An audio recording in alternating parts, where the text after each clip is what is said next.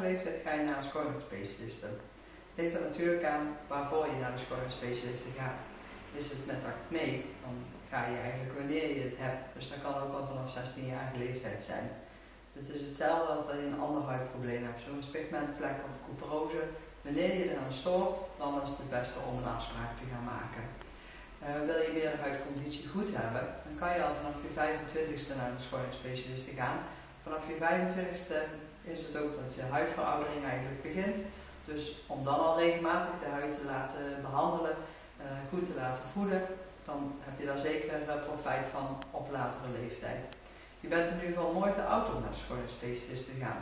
Dus ook al kom je er op je 75ste achter of op je 80ste achter van hé, hey, ik wil meer aan mijn huid doen, meer voeden, de huidconditie beter, is altijd goed.